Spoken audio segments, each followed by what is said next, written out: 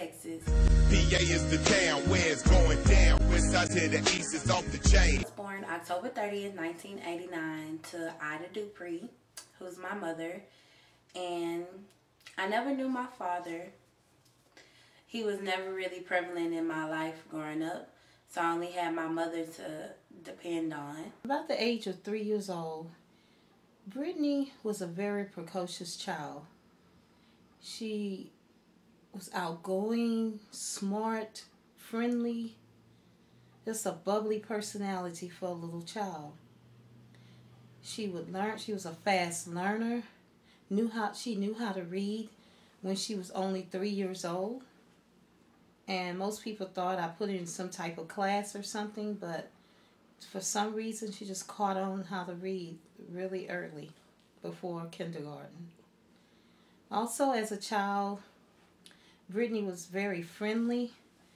She was always eager to go with family members and friends of the family and would not get homesick. She just was very outgoing and people loved Brittany. And in our church, Brittany as a young child would lead songs in church uh, speak in front of an audience between the ages of three and seven years old. So I would say overall, Brittany was just a precocious child who just never had any fear or just had that go get 'em type attitude. I had a pretty decent, you know, the normal childhood. I have a younger sister named Ashlyn who's like 13 months younger than me. Um, we're pretty close. Our relationship is really strong. She looks out for me, I look out for her. As a child, she was very happy. Um, she loved doing things for people. Um, she was always involved in activities in school. She did school plays, school um, programs. For example, a Christmas program or Thanksgiving program. She was always involved. Growing up, I was always different. Um, around five, six, I noticed that I was a little bigger than the rest of my classmates. Um, around that time, that's when I started to get, um, not really picked on, but it was the kids, the my classmates really started to notice the difference between them and myself when it became uh, came to the size I was in. Um, going into elementary school, um, yeah, I had many friends. I was excelled in my academics. I was in advanced classes, um, programs such as Vega and Summit that was in our school district, the Port Arthur Independent School District. Um, even though I had many friends and I was, you know, very term popular, I still had the times where I did get occasionally picked on because of my weight. Began to go to middle school, getting uh, growing older and hitting adolescence, becoming an adolescent. Um, the teasing did get a little bit harder and harsher. Um, guys were starting to notice girls more and because of my weight, I was picked on because I wasn't deemed attractive enough to the guys. Um, even though I had many friends and I was very popular, um, I did still, even like in elementary school, get those people that occasionally picked on me because of my size. Brittany always had a, a sweet, nice personality, but as she grew a little older past high, um, elementary school, I tend to notice that once she got into middle school, her personality, I guess like most adolescents, uh, was real mood. She was real moody. One day she was happy, go lucky. The next day she seemed very depressed. And I never really asked her why she was depressed or anything. Uh, I just thought it was the normal adolescent thing. However, as time went on, I started to realize when she got into middle school that Brittany was depressed about her weight because a lot of her friends were like, getting new outfits, uh, wearing all the latest trends and styles, and many times she couldn't wear that style because of her size. Instead of shopping in the preteen or the uh, junior section, I had to go to the plus size section to get her clothes, and they were not always equal to the clothes in the junior section. So that's when I started to notice Brittany personality changing towards, you know, herself and but she she wouldn't dwell on it, but I knew it was there in the back of her mind all the time. And that's when it's uh, it started to bother me a little bit. She was always um I say happy and but she'll have a high self esteem, but then she'll have them times when she'll have a low self esteem about her weight when it comes down to doing something. Um, for example, when we went to an amusement park, I know it bothered her when she couldn't ride a roller coaster ride because she couldn't fit the harness over her body. And I know she felt left out because we were with friends and it's just situations like that I knew that her weight bothered her. High school was pretty much the same as middle school. Had gained more friends, excelled even more academically in high school. I graduated the top 10% of my class. I was number 18. I participated in the marching band, the choir, various uh, extracurricular activities such as FTA, um, journalism, the yearbook committee, and um, the senior senior advisory committee. Even with all that, um, still and all my friends, I still felt like the designated fat girl of the group. Um, even though I appeared happy on the outside, smiling, friendly, Brittany, deep down inside, um, I really didn't like myself. I wanted to change. I wanted to look more like my smaller friends or the slim girls that appeared on television videos. You know, what the media portrayed as pretty. Even though many people told me that I was attractive, pretty, I just didn't believe it myself.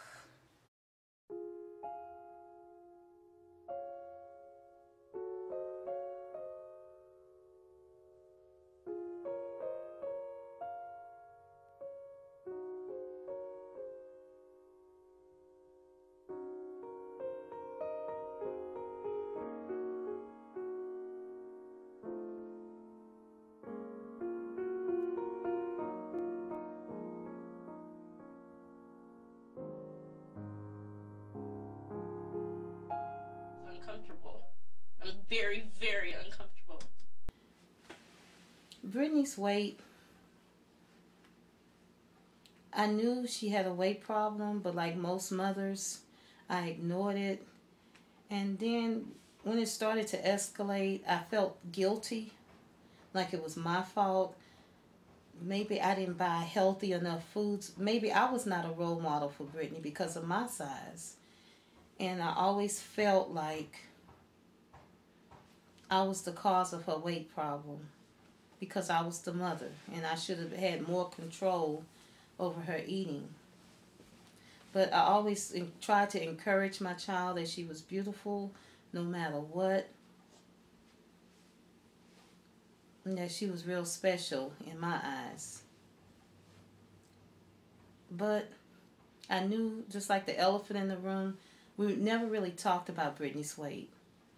We, it was just there. And not just with me, the whole family and her friends. I really didn't talk to anybody about my feelings towards my weight. I really just hid it, you know, inside because I felt like it was more of a personal problem than somebody else's problem. Um, even though on the outside I said I um didn't care about what anybody had to say about my weight, um, I had this I don't give a care attitude about it. Deep down inside, I really did care.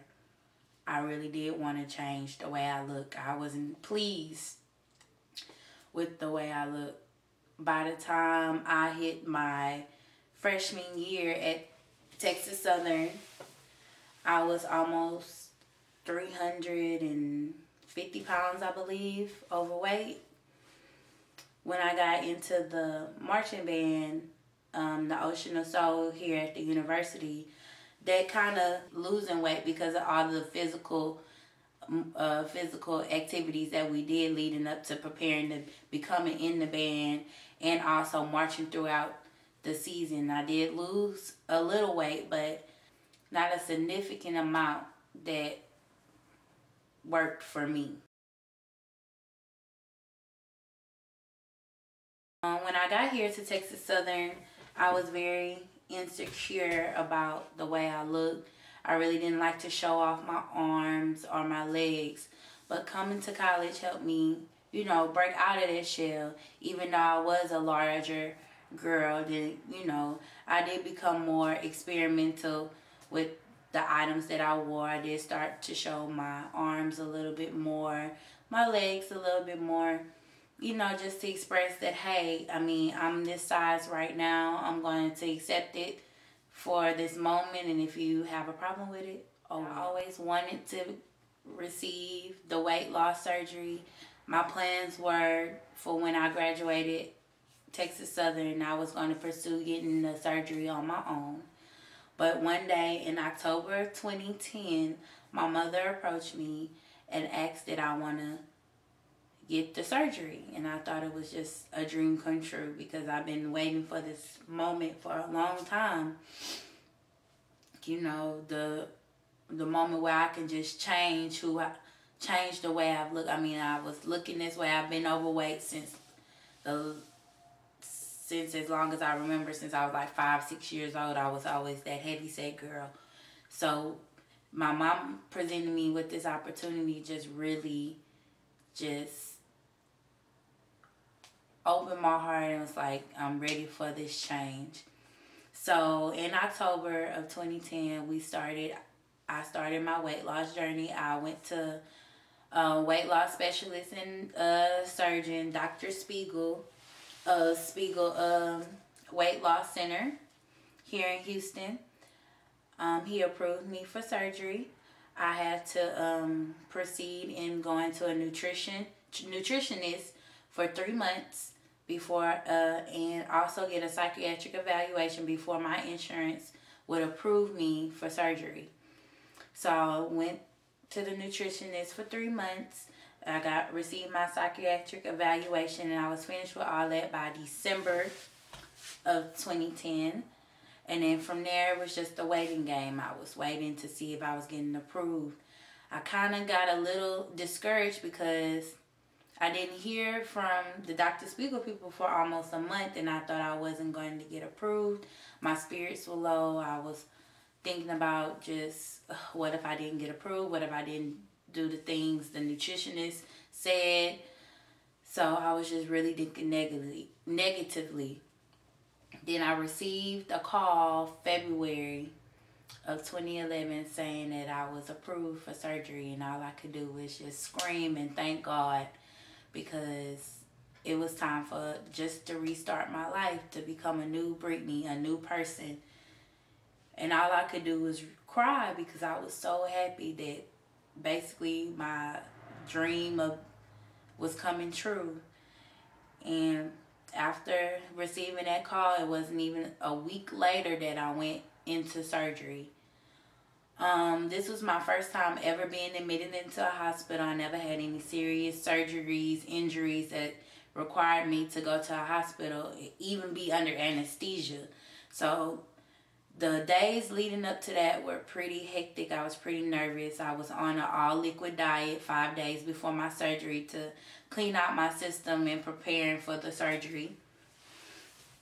And that was dealing with that was a little hard because you're so used to eating the foods that you want to eat those fast foods those snack foods those fatty foods so really starting that liquid diet just showed me like wow things are going to change once you get this surgery so the day of surgery it was pretty nervous i was pretty nervous i was a little worried my mom guaranteed me everything was going to be fine. Dr. Spiegel and his staff took great care of me. Um, had some pain afterwards for a couple of days, but I was back to normal in about about a week or so. Um, before my surgery, I weighed in at about 324 pounds. Um, throughout my uh, three months of visiting the nutritionist and getting my psychiatric evaluation, I lost, I was down to about 318, I believe. Um, to this date, today is November 30th, 2011. I am now 236 pounds. Um, from my surgery date, that's about a 75 plus weight loss uh, pounds I have lost. So I'm pretty proud about that. I've noticed some different things about Brittany's personality since she's lost weight. It seemed like her demeanor is a lot more confident when she walks, when she speaks. Uh, she seemed to uh, just have a different. Um, how would you say that? She had a different. Not a. She's basically the same, but just overall, she just has more self confidence about herself since the weight loss surgery. And I've noticed since she's in marching band, she doesn't speak about her feet having so many blisters or her ankle swelling or she not being able to do the normal exercises that the band does. So unless I just know she's able to keep up more this school year. That's it. Anything Overall, I'm just happy that my child is happy. And that she's overcame and she's still in the process of making her life better. Since the surgery, she's the, she's still the same Brittany. Um, I'll say the only thing that's changed is her self confidence in herself. Um, she likes fashion. She's always looking for something cute to wear. Cause when she was bigger, she couldn't wear the same clothes that she's wearing now. Um, her physical performance, since we're both in band, um, I say it's it's gotten better. She can keep up with the stuff that we do. Um, she's always eating healthy. Um, always worrying about calories and carbs, and she just has a whole different mindset. Um, that's about it. that this weight loss surgery has changed me in many ways. I'm more of a outgoing person now, even though I was before. But in certain situations, like let's say dancing in public, approaching a guy, I was very hesitant because of my weight. I felt like they were going to pick on me, they were going to judge me. Now that I have slimmed down a little bit, you know, I'm more confident in my appearance. Um, I I'm not as self conscious as I was before.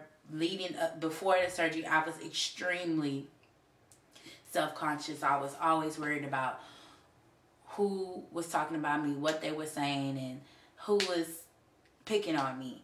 Now I could care less what people have to say they have a problem with my weight, oh well, I'm loving myself. I'm loving how I look. I'm loving the new me. And I'm just enjoying life and living it day by day and taking this weight loss journey day by day. With this weight loss surgery, it has changed my life. I'm on a path to a healthier lifestyle. Um, I'm just taking it day by day pound by pound. And I am beautiful say.